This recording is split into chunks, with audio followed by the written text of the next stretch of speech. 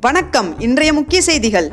விரிவாக்க துணை அலுவலர் மற்றும் துணை அலுவலர் உதவி வேளாண்மை அலுவலர் பணியிடங்களுக்காக தேர்வு எழுதி தேர்ச்சி பெற்றவர்களுக்கு சான்று சரிபார்க்கும் பணி வருகின்ற டிசம்பர் பதினைந்து மற்றும் பதினாறாம் தேதி நடைபெறும் என்று தெரிவிக்கப்பட்டுள்ளது.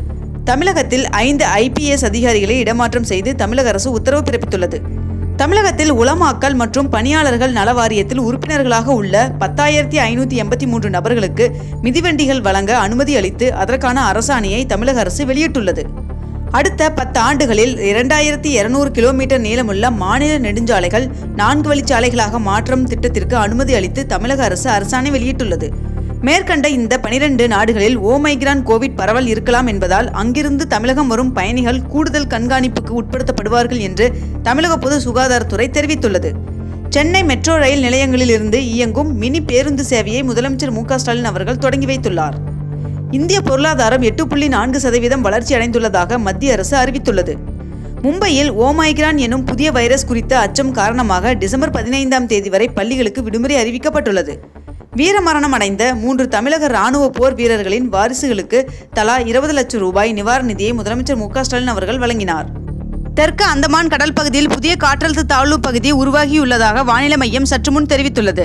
மேலும் இதன் காரணமாக கன்னியாகுமரி மற்றும் நெல்லை மாவட்டங்களில் இன்று இடிமின்னலுடன் கூடிய கனமழை பெய்யக்கூடும் என்றும் தெரிவிக்கப்பட்டுள்ளது. அத்தியாவசிய பொருட்கள் மீது ஜிஎஸ்டி வரியை எப்பொழுது குறைப்பீர்கள் என்று மக்களவையில் தயாநிதி மாறன் அவர்கள் கேள்வி எழுப்பியுள்ளார். எஸ்பிஐ ஏடிஎம்களில் பத்தாயிரம் ரூபாய் அல்லது அதற்கு மேல் பணம் எடுக்க ஓடிபி எண்ணை உள்ளீடு செய்வதை கட்டாயமாக்கி உள்ளதாக எஸ்பிஐ வங்கி தெரிவித்துள்ளது. துருக்கி இஸ்தான்புல் நகரில் பலத்த காற்றுடன் பெய்த கனமழையால் பெரும் சேதம் ஏற்பட்டுள்ளது. வருகின்ற டிசம்பர் மூன்றாம் தேதியிலிருந்து மேற்கண்ட இந்த நாட்களில் கேரளாவுக்கு சிறப்பு ரயில்கள் சென்ட்ரலில் இருந்து மாலை ஐந்து மணிக்கு புறப்படும் என்று தெரிவிக்கப்பட்டுள்ளது. பிரதமரின் ஜந்தன் திட்ட முதலீடு ஒரு லட்சத்தி நாற்பத்தி எட்டாயிரத்தி அறுபத்தி ஒன்பது கோடி கையிருப்புடன் கணக்குகளின் எண்ணிக்கையும் நாற்பத்தி மூன்று புள்ளி எண்பத்தி ஐந்து கோடியாக அதிகரித்துள்ளது என்று தகவல் தெரிவிக்கப்பட்டுள்ளது.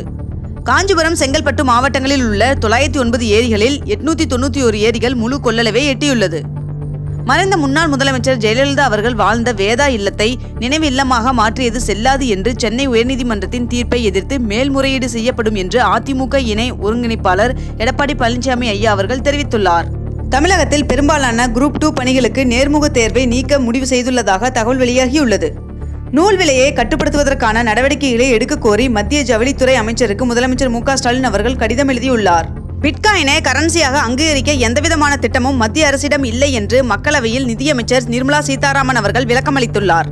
ஒமிக்ரான் கொரோனா குறித்த அச்சம் உலக நாடுகளிடையே அதிகரித்துள்ள நிலையில் அனைத்து வெளிநாடு பயணிகளுக்கும் தடை விதிப்பதாக ஜப்பான் பிரதமர் அறிவித்துள்ளார். இருபத்தி ரெண்டு கேரட் ஆபண தங்கத்தின் விலை ஒரு சவரனுக்கு நூற்றி இருபத்தி எட்டு ரூபாய் குறைந்து ஒரு சவரன் முப்பத்தி ஆறாயிரத்தி நூற்றி இருபது ரூபாய்க்கு விற்பனையாகிறது. அதேபோல் ஒரு கிராம் வெள்ளியின் விலை அறுபத்தி ஆறு ரூபாய் ஐம்பது பைசாவாகவும் விற்பனை செய்யப்பட்டு வருகிறது. இத்துடன் இன்றைய தலைப்புச் செய்திகள் முடிவடைகின்றன. இதுபோன்ற அண்மை செய்திகளை உடனுக்குடன் தெரிந்து கொள்ள நம்மளுடைய சேனலில் தொடர்ந்து இணைந்தீர்கள் நன்றி வணக்கம்.